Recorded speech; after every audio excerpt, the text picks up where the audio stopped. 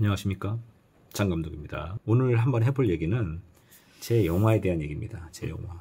아, 제가 어저께 우연찮게 구글링을 하다가 어, 제 영화에 대한 리뷰들이 요즘 제법 떠요. 그러니까 제 영화가 워낙 이제 그 뭐 알려지지도 않고 인기가 없다 보니까 누군가가 내 영화를 본다는 사실 자체를 제가 인식하지 못하고 있었던 것 같아요 한동안. 그리고 제가 코로나 이후부터 영화를 한참 뭐 영화 작업을 안 했습니다 그 이유가 있죠. 어, 아무래도 이제 영화 쪽으로 제가 돈이 안 된다는 거를 어, 제 몸으로 느끼게 됩니다. 다 빚으로 남고.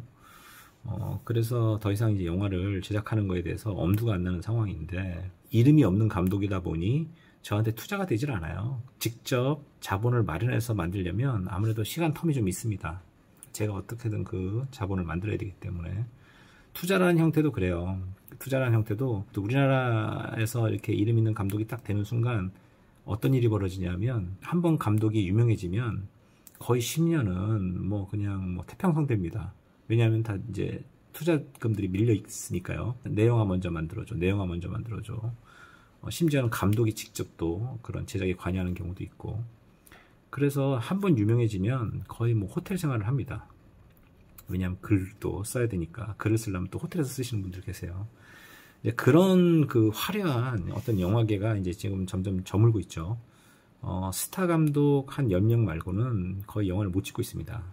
영화를 지금 다 폭망이고 그리고 어, 넷플릭스 때문에 모든 출연자의 그 어, 출연료들이 어, 말도 안 되게 상승을 했어요. 그래서 글로벌로 치고 나갈 정도의 컨텐츠를 만들지 못하면 아예 제작하면 그냥 뭐 그 돈 다 날라간다. 아, 심지어 배우비가 어, 주연은 뭐 당연히 뭐 따따블로 올랐고 어, 제법 그 연기의 그 감초맛을 주는 조연들마저도 옛날 주연급이다. 그래서 그 조연으로 이제 뜨신 분들 우습게 보면 안 됩니다. 그분들은 이미 엄청난 부를 이루셨어요. 조연인데도 뭐, 뭐 주연 정도 되면 흔히 우리가 이제 이름이 알려진 주연이다 하면 그 강남에 어, 그것도 가장 핫한 곳들 있잖아요. 강 끼고 있는 곳들, 진짜 부촌들, 재벌들 사는 곳에 그런 데다 이미 본인들의 어떤 그 자산을 어, 부동산을 통해서 과시할 수 있는 정도의 풀을 이루고요. 조연이라 그래도 뭐 요즘 조연은 조연이 아닙니다. 어, 어, 엄청나요, 엄청나. 그분들은 이미 강남권에 어, 뭐 가벼운 좀 좀 작은 빌딩 정도는 살 정도로 부를 어, 이룹니다. 예, 그동안 이제 고생한 그 인생의 그런 것들을 다 보상받는 거죠. 근데 이제 우리가 이름이 알려져 있는 주 조연 말고는 어, 연기를 통해서 삶을 이어갈 수가 없는 정도의 수준의 수익들이죠. 감독도 역시나 비닉빈 부익부는 뭐 배우들보다 더 치열하죠. 어, 일단 전 국민이 아는 감독이 아닌 이상은 그 거의 거지처럼 삽니다. 그래도 뭐 감독이라고 그 허세 부리고 살 수 있을지 몰라도 그건 이제 옛날 얘기고 요즘은 어 그냥 뭐 거지라고 보면 됩니다. 거지. 아, 그리고 이제 한번 감독이 되면 또 영원한 감독 아니겠습니까? 옛날 CF 때 제가 그 한번 경험했던 건데 CF 감독 할 때 옛날 그 CF 감독 할 때는요 그 조 감독부터 이렇게 크거든요. 조 감독부터 커서 월급 이제 60만 뭐 원. 제가 어느 정도 그 감독으로 입봉했던 그 시기에 지금부터 한 20년 전 그때 시기의 어떤 그 프로세스는 어, 초봉 60만 원부터 시작입니다. 그리고 뭐 거의 60만 원으로 가다가 얘가 한 150만 원 정도 월급을 받을 때쯤이면 일부러 감독을 입봉시키는 경우도 있어요. CF 프로덕션이 실제 있는 일이에요. 어, 왜냐하면 뭐 한 9년차 조감독 되면은 입봉을 안 시키면 이 불만이 장난이 아니거든요. 이게. 예, 그리고 그동안 이 친구가 그래도 그 프로덕션에서 수많은 어떤 인건비를 녹여가면서 했던 일들이 있을 거 아닙니까? 감독 되려고 바라보고 이제 그런 그 시스템 속에서 커온 그 조감독들이 어 이거 이거 사장 입장에서는 그 프로덕션 사장 입장에서는 감독을 안 시킬 수가 없는 거예요.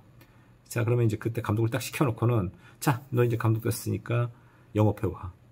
감독은 연출도 잘해야 되지만 너가 직접 광고를 따오는 것도 이것도 감독의 일인 거야 하면서 이렇게 등 떠밀려서 영업의 길로 나서는 어, 참 말이 좋아 감독이지 어, 거의 뭐 앵벌이 수준의 일을 자기 스스로 감당하지 못하면 어, 결국 금방 도태됩니다. 금방. 그러니까 이제 가장 잘못된 케이스가 프로덕션에 어떤 입사를 해서 그것이 이름 있는 프로덕션이라 할지라도 시간이 지나면 알아서 감독되겠지라고 하는 그런 안일한 생각으로서는 그냥 그냥 폭망이고 그렇게 이제 등 떠밀려 이제 영업의 길로 나서죠. 근데 뭐 누가 그 사람한테 최저 몇 천에서 뭐 많게는 뭐 한 2억 원, 3억 원짜리 광고를 누가 주겠습니까? 상식적이지 않죠. 그 돈을 줄 거면 어, 유명한 감독한테 주는 거죠. 그래서 한 번 유명해지기가 되게 어려운데 대부분은 그래서 99%는 다 나가 떨어지는 거예요. 이제 자기가 그 꿈은 그렇게 갖고 있지만 대부분은 감독이 되자마자 아, 그냥 어, 스스로 망한다. 아, 그래서 참 잔인한 현실입니다. 뭐 그게 뭐 꼭 그 이런 영상업계만 있는 건 아니고 뭐 요식업계도 마찬가지일 거고 다 그럴 거예요. 모든 업계가 다 그런 프로세스일 겁니다. 인생이 다 그런 거니까. 그래도 광고계에서 당시에 빠르게 제가 성장을 하고 좀 살아남았던 이유 중에 하나는 미대 출신이고 그리고 드로잉을 좀 할 줄 알다 보니까 거의 콘티들을 제가 직접 이제 그 프로덕션에 그려줬어요. 어, 명필름이라는 그 회사에서. 어, 그러다 보니 그 콘티 값이 이제 회사에서는 굉장히 큰 이득을 남는 거죠. 월급 60만 원만 주는 애가 어, 부가적으로 콘티까지 그릴 줄 알면 회사에서는 어, 저 같은 사람을 이제 두고 있으면 한 달에 천만 원 이상의 어떻게 보면 손실을 막을 수 있는 콘티 값으로 예, 그런 어떤 그 베네핏이 저한테 있다 보니 어, 나름 뭐 아주 빠른 성장으로 제가 아, 감독 입봉까지 하게 됐는데 그 감독 입봉을 하고 딱 현장에서 얼마나 제가 가슴이 떨렸겠어요. 저도 레디골을 외칠 수 있는 감독이 됐다고 생각을 하니 그런데 아, 실상 그렇지 않더라. 아, 제가 어린 나이에 이제 입봉을 하다 보니 옆에서 촬영 감독님이 나이 드신 감독님을 저한테 이제 매칭을 시켜줬어요. 그 대표님께서 명필님 대표님께서 아, 그러다 보니 그 나이 드신 참여 촬영 감독님이 저한테 어, 장 감독 그 네가 광고를 잘 모르는 모양인데 하면서 또 코치 들어가고 광고를 맡긴 회사의 홍보실장이란 분이 또 나와서 또 코치 들어가고 그리고 심지어는 이제 제가 광고를 몇 번 찍다 보면 이제 직접 대표님이 직접 어, 말로 그냥 거의 뭐 감독이 감독이 아니더라고요. 그래서 제가 그때 느낀 게 뭐냐면 그냥 감독으로서는 내 꿈을 이루지 못하겠구나. 저도 그때 당시 꿈이 있었으니까. 그래서 이제 프로덕션을 차리게 되고 그때 어떤 그 근성이 어, 직접 제가 영화 제작사를 만들든 아니면 광고 제작사를 만들든 웨딩 회사를 만들든 어, 그리고 심지어 에로 제작 회사를 만들든 다 제가 이제 대표가 돼야 되겠다라는 생각을 어떻게 보면 머릿속에 딱 박히게 되는 거죠. 그다음부터 이제 제 인생이 말 그대로 어, 어, 야생 정글 속에 그냥 놓여진 그 한 마리 토끼 같은 그런 인생인 거예요. 예, 살아남으려고 온갖 방법을 다 써야 되고 그리고 광고를 따려고 어, 프레젠테이션도 어, 제법 잘 해야 되고 이름 없는 감독이었기 때문에 음, 뭐 과거에 했다는 건 중요하지 않죠. 그냥 화려한 어떤 그 이력을 갖고 계신 분들, 그 흔히 말하는 포트폴리오, 포트폴리오가 워낙에 화려하신 분들이 제 위에 엄청난 강자들로 다 존재하고 있는 이 현실에서 어 광고 감독이나 뭐 어떤 영상을 뭐 수주를 받는 입장이 된다고 한다는 건 그게, 그게 굉장히 어려운 일입니다.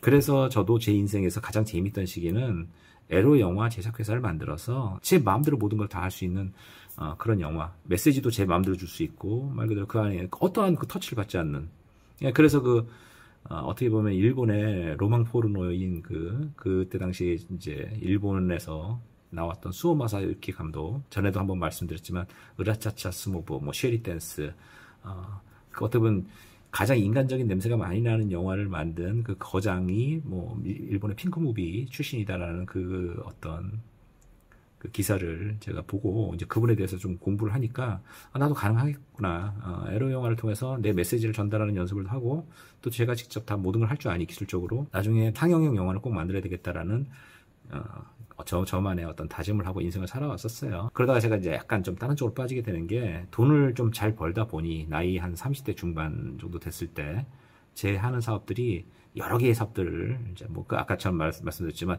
어떻게 보면 음지 사업부터 양지 사업까지 제가 전촌으로 어, 뭐잘 됐어요. 잘 되다 보니 제가 그만 어, 자동차와 바이크에 빠지게 됩니다. 뭐 인생을 이룬 것도 없는데 제 꿈을 이루지 못한 채 어, 그건 관심이 없어지는 거죠 이제 영화 찍는 거는 아예 영, 내 꿈이 뭐였다라는 걸 잊어버린 채 그냥 현실에서 열심히 어, 바이크 타고 어, 그냥 없이 태어난 사람 치고는 그래도 한 두카티 4대 할리 한대 예, 그리고 바이크는 그리고 종류별로요 물론. 그리고 자동차도 어, 없이 태어난 사람 치고는 뭐 한차한 다섯 대 정도를 보유하는 어, 그 중에서 그래도 브랜드가 좀 제법 있는. 그리고 이제 마지막에는 그래도 당대에서 벤츠에서 제일 비싸게 나왔던 SLS AMG까지 구입하게 되는 그런 식의 어떤 제 삶이 너무 그쪽으로 이제 빠져버린 거죠. 뭐 어떻게 보면 향락과 쾌락, 뭐 마약은 안 했다 그러지만 정신적인 그 어떤 그 뽕이 찬 거죠. 아 그래 뭐 인생 뭐 있어 다 즐겨봐야지. 그래서 제가 너무 젊은 나이에 이루지 않은 상태에서 너무 많은 것들을 즐기게 돼요. 어, 그러다 망하죠. 어, 첫 번째 이용과 동시에 어, 너무 쉬운 길을 택하려고 하는 거죠. 어, 그러다 보니 이제 사기꾼들이 접근하게 되고 어, 정말 내가 몰랐던 금융으로 인한 돈을 버는 방법이 있구나. 지금 대부분의 사람들이 지금 망하고 있는 그 절차를 저는 이미 45살 정도에 이미 당했습니다. 크게 당했어요. 선물 매매 쪽으로. 어, 그래서 어, 모든 것을 잃고 어, 자영업으로 몇 개를 더 해보려고 하지만 허우적거리다가 어, 모든 걸 놓고 몽골로 넘어가게 되죠. 그때 죽으려고 간 거예요, 진짜로. 뭐 인생이 끝난 것 같더라고요. 어, 망하는 것도 돈이 든다. 있는 돈 다 없어지고 어, 정말 비참했습니다. 몽골로 가서 밥 장사를 해볼까도 생각을 했었어요. 저 비자가 뭔지도 몰랐죠. 몽골은 비자가 있어야 되는 나라입니다. 저는 그런 것도 모른 채 저희 어머니와 여동생을 데리고 간 거예요. 그냥 진짜로 아무 생각 없이 비자가 이제 만료가 될 거 아닙니까? 비자 없이 갔으니까 아, 그런 방법들을 막 찾다가 한국에 왔다 갔다 하는 방법들이 있더라고요. 근데 한국에 오는 것마저도 비행값이 워낙 비싸다 보니까 몽골 비행값 비쌉니다. 요즘은 뭐 한 80만 원, 100만 원도 우습더라고요. 그, 그 멀지도 않은 곳이 대한항공 특점이다 보니까.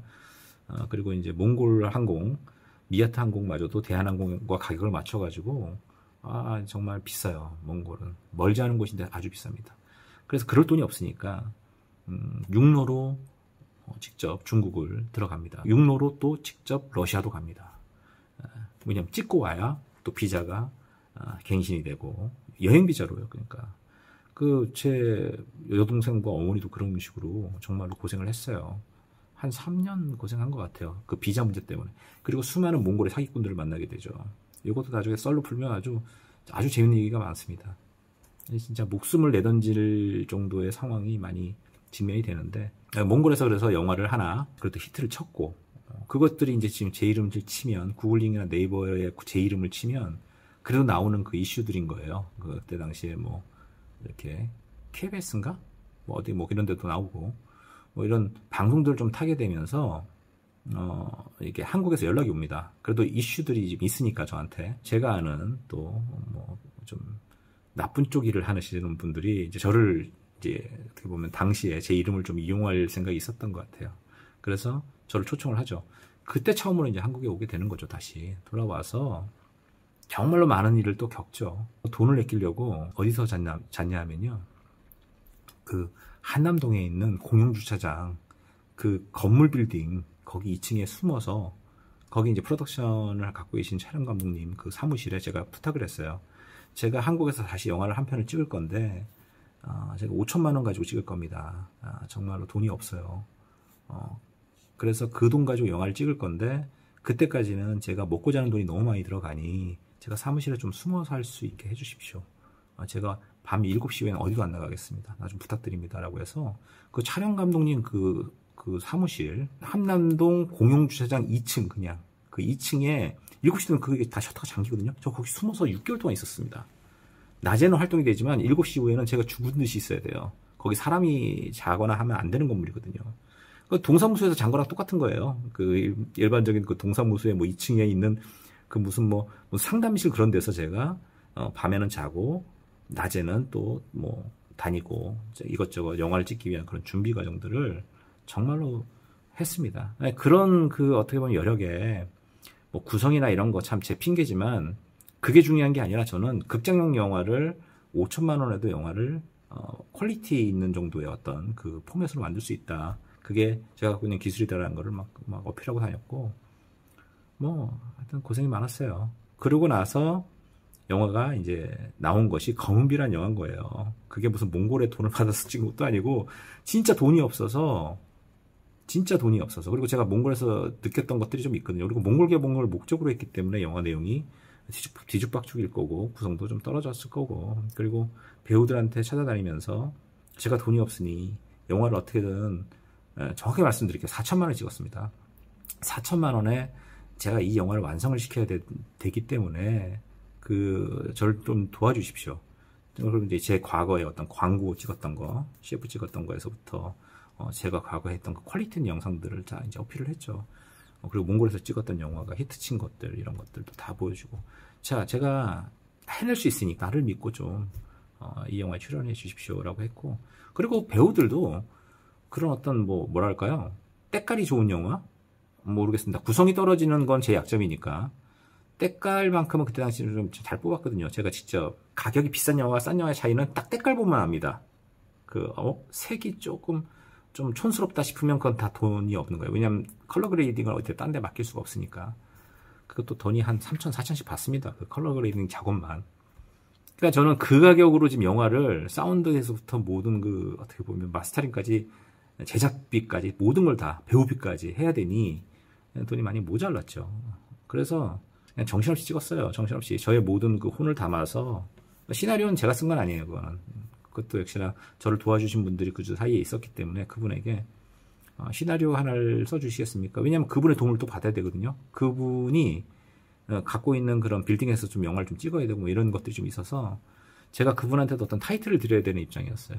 음, 그러다 보니 또 저도 어, 뭐 시나리오 제가 직접 쓸 수 있다고 하지만 어, 남의 시나리오가 훨씬 더 완성도가 높을 것 같다는 생각이 이렇게 맡겼던 거고 그리고 저도 뭐 이 정도면 어, 내가 원하는 정도의 어떤 그 구성이 된다. 몇 명 등장에 에, 뭐 어떤 그 결말. 돈이 좀 들어가는 장면들이 필요하죠. 영화에는 그 후반에 굉장히 그 액션 씬들이 막 있어야 되는데 그게 돈이 없으니까 그런 구성을 할 수 있는 시간이 없는 거예요. 그리고 날짜도 20일 안에 찍어야 되는 거예요.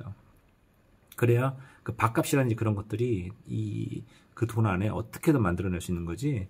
그냥 붙어대고 시간을 길게 잡아버리는 순간 영화가 완성도 못 되고 그냥 멈춰버린다. 과거 한국에는 1년에 영화가 몇 편이 만들어지냐면 한 2,000편이 만들어진다고 얘기를 해요. 이 나름대로의 그 독립영화 제작사들 그런 사람들도 제가 많이 만나다 보니 그 중에서 완성이 돼서 나오는 영화는 200여 편밖에 안 됩니다. 나머지 어, 1,800편은요 경험이 없다 보니까 만들어지기도 전에 그냥 망가라지고 만들어지다 중간에 망가라지고 다 만들었지만 마무리 못해서 망가라지고 뭐 그런 정도로 사실 끝까지 뭔가를 완성시킨다는 건 진짜로 프로페셔널한 영역인 거예요. 저는 그거를 수도 없이 했기 때문에 제가 뭐 그 과거에 있었던 그 에로 영화 제작사에서 제가 한 달에 한 편씩 에로 영화를 계속 제가 스스로 제작을 해서 계속 내보내면서 파는 걸 3년 이상 했기 때문에 저는 그게 굉장히 그래도 빠른 편이거든요. 안 되는 상황에서 무엇인가를 되게 결과물로 완성되게 만드는 거. 제가 이제 그림 공부를 했다 그랬잖아요. 그림도 마찬가지입니다. 자꾸 욕심을 부려서 끝에만 뭔가 마무리 예쁘게 지으려고 이렇게 하면 그림이 안 되죠. 끝을 일단 상상을 한 후에 밑색을 충분히 밑에 톤을 충분히 깔아줘. 이거 우리 톤 작업이라고 하는데 그리고 나서 맨 마지막에 숨을 안 쉬면서 정말로 깔끔하게 마무리가 잘 돼야 뭐 2시간이나 3시간 안에 그 어떤 정해진 시간 내에 대생 시험을 어느 정도 할 수 있는 거예요. 미술 선생도 옛날에 했었으니까 제가 학원 미술학원도 했었거든요. 자, 어떤 정해진 시간이 있다면 그 시간 안에 내가 어떤 분배를 어떻게 해서 예를 들어서 중간이 조금 부족하다 할지라도 이걸 마무리해서 마무리를 잘해서 눈속임을 할지라도 어떻게든 완성을 하는 것이 이게 되게 중요한 거지.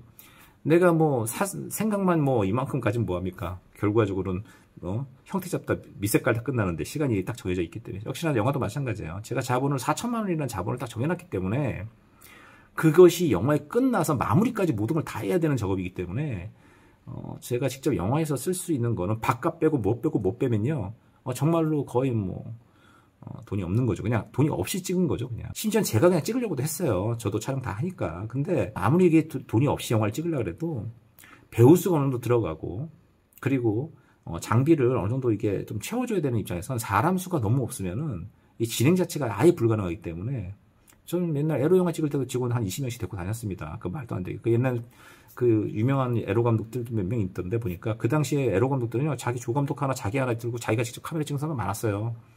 저는 그렇게 안 했습니다. 그 당시에 제가 워낙 또 다른 프로덕션, 광고 프로덕션도 같이 했기 때문에 거기 인원들을 데려다가 어, 직원 수를 말 그대로 배우 수보다 훨씬 많이 그렇게 했던 그 과거에 나름대로 간지가 있었기 때문에 이런 그래도 극장에 올리는 영화인데 너무 쌈마이티하게 찍을 수 없, 겠다 그런 생각이 들어서 그렇게 이제 무리하게 만든 거죠. 그게 이제 그 검비란 영화인 거고 어쨌거나 몽골 개봉했고 한국은 개봉 못했죠. 그래서 그냥 어, 어떻게든 작업을 해서 보통 하루에 이렇게 극장 개봉하는 작업을 하거든요. 그리고 이제 뭐 포스터 대충 만들어서 어, 그냥 OTT로 바로 넘기는 어, 그런 상황인 거죠. 그런 영화이기 때문에 욕을 바가지로 먹는 겁니다. 야, 네가 몽골 돈 받아가지고, 아, 그거 아닌데 몽골 돈 받아가지고 몽골 돈이 아깝다 이 새끼야 이런 식으로 그 댓글에 굉장히 잔인해. 근데 뭐 댓글이 잔인한 거는 워낙에 많은 돈이 들어간 영화들도 뭐 댓글 영화 돈 주고 본 사람들 입장에서는 욕할 수 있죠. 어, 뭐.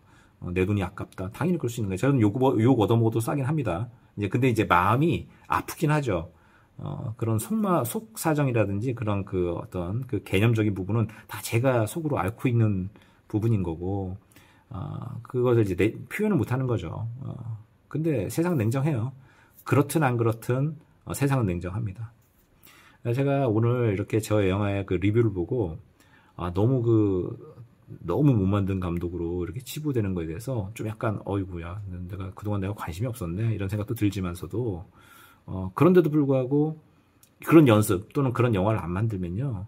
영원히 못 만드는 거죠. 누군가가 나에게 뭐 50억에서 100억을 주겠지, 뭐 심지어 200억을 주겠지.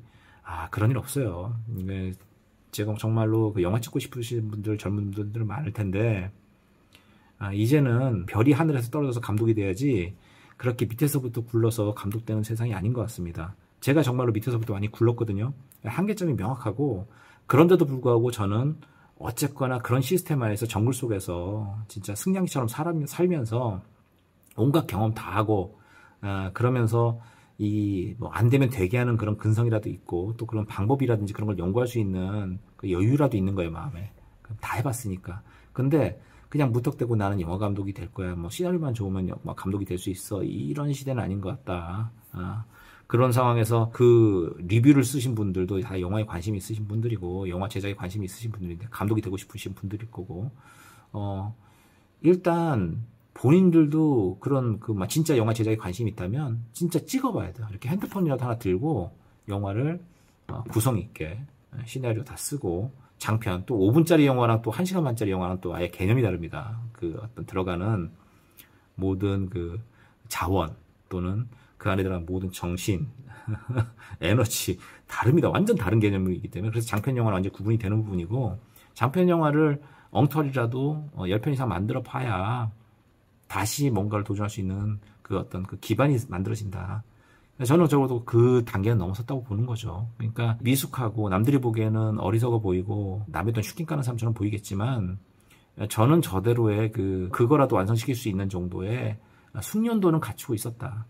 그리고 지금도 꿈은 뭐 당연히 좋은 영화를 만드는 게 꿈이지만 현재로서는 어, 시장이 너무 망가져서 어, 제가 그런 꿈을 꾸는 것조차도 어, 굉장히 사치가 돼버리는 상황이 돼버렸다.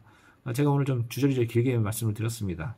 하여튼 그 제가 몽골에서 정말로 고생했던 얘기들을 하나씩 하나씩 이야기 보다를 풀 생각도 있거든요. 정말로 아찔한 얘기들이 제법 있습니다. 그리고 사람을 점점 못 믿게 될 수 있는 그런 스토리도 제법 있고요.